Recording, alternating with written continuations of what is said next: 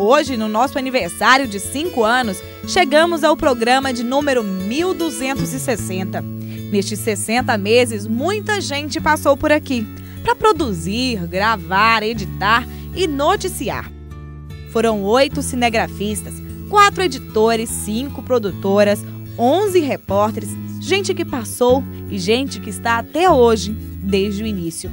Nestes 1260 dias que aparecemos na sua TV, muitas coisas acontecem por trás das câmeras.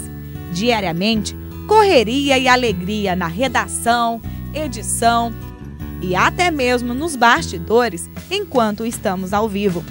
O programa, com cinco anos, conseguiu realizar o sonho de mais de 100 mulheres no quadro Dia de Cinderela. Proporcionou a mais de 60 usuários de transporte coletivo uma voltinha diferente no quadro Miss Busão.